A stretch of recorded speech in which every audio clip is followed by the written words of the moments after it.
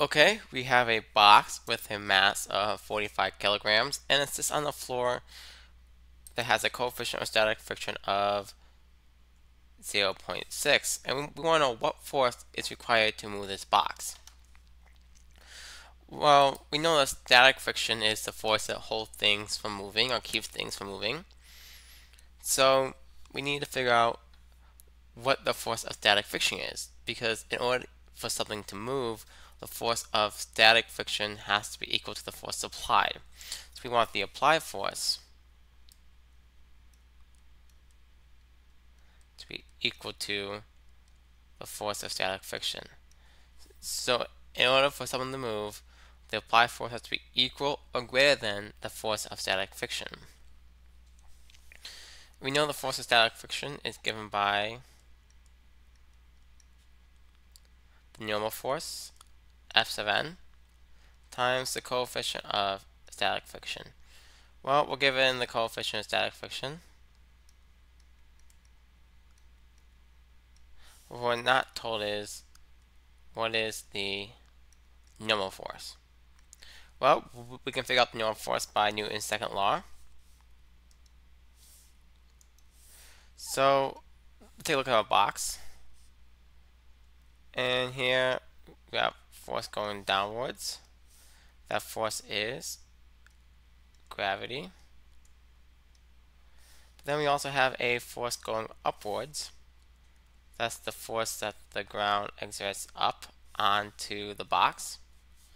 Make that more straight there.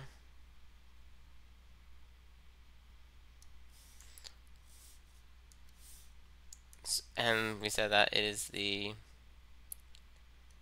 normal force. Well, by Newton's second law, let's write down Newton's second law. F net equals mass times acceleration.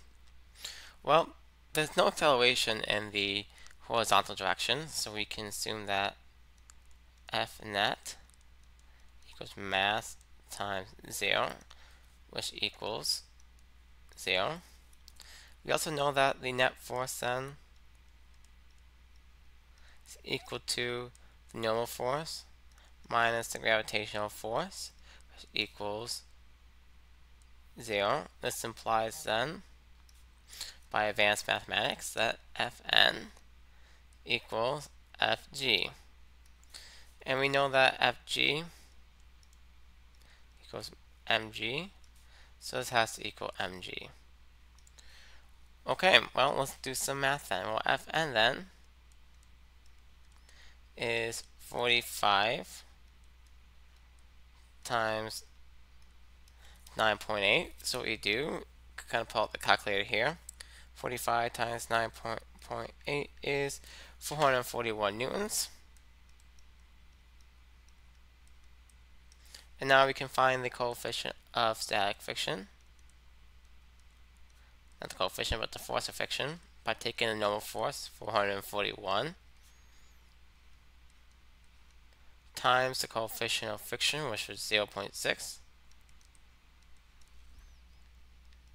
And that gives you 246.6 newtons. That means you need to apply a force of 246.6 newtons or greater in order to get this box to move.